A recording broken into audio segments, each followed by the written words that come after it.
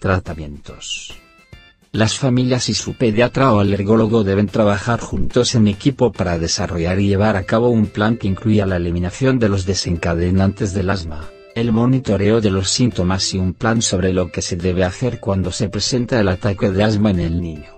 Existen dos clases básicas de medicamentos para el tratamiento del asma, medicamentos de control a largo plazo, que se utilizan de manera regular para prevenir los ataques y no para el tratamiento durante un ataque. Los esteroides inhalados, por ejemplo, Azmacort, Banferil, Aeropil, Flovent, previenen la inflamación de inhibidores del leucotrieno, por ejemplo, Singulair, Accolate, los broncodilatadores de acción prolongada, por ejemplo, Famoterol, Servent, ayudan a abrir las vías aéreas como lina sódica, Intal, o medocromil sódico aminofilina o teofilina. No se usa con la frecuencia con la que se utilizaba en el pasado, combinación de antiinflamatorios y broncodilatadores, medicamentos de alivio rápido, rescate, se utilizan para aliviar los síntomas durante un ataque. Broncodilatadores de acción breve, por ejemplo, Proventil, Ventolin,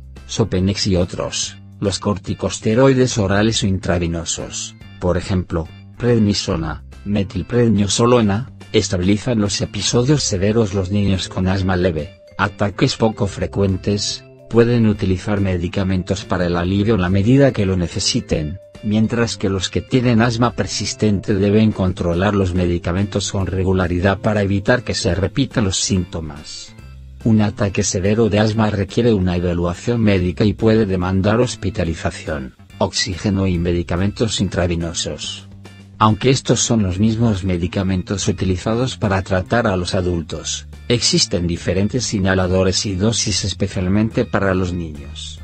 De hecho, los niños a menudo usan un nebulizador para tomar su medicina en lugar de un inhalador, dado que para ellos es más difícil utilizar adecuadamente este último. Las familias juegan un papel muy importante en el control del asma al ayudar a eliminar los desencadenantes de los espacios cerrados que empeoran esta condición. Por ejemplo, es extremadamente importante eliminar el consumo de tabaco en la casa y es lo más importante que una familia puede hacer para ayudar a un niño con asma. Sin embargo, no es suficiente hacer que las personas no fumen dentro de la casa, ya que los miembros de la familia o los visitantes pueden traer residuos de tabaco en la ropa y los cabellos.